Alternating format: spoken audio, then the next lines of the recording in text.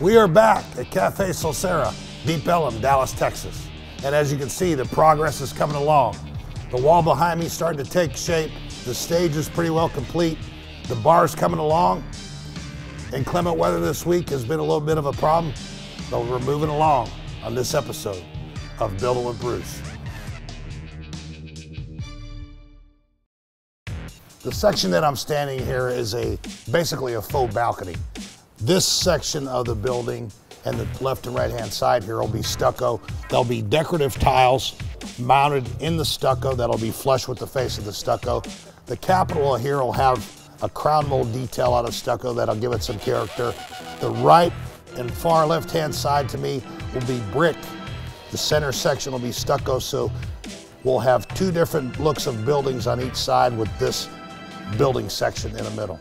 This area here that I'm standing in will be the cappuccino espresso kind of production line. I've raised the height of this wall to hide the look from the customer side. The beams overhead, it gives a look of the exterior, which is the whole enchilada design here is to be outside while you're inside. Renovation projects never come without some kind of surprise. And in this case, Cafe Salsero. Our surprise was an existing beam that doesn't exist. Our original investigation showed that beam there. That would make this exterior wall non-load bearing. That is not the case.